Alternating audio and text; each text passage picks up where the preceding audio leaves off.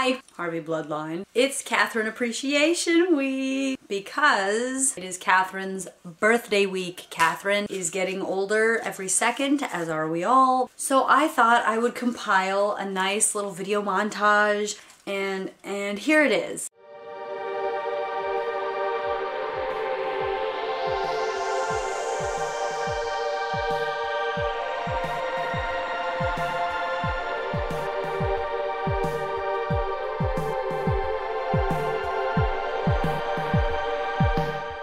Happy birthday, babe!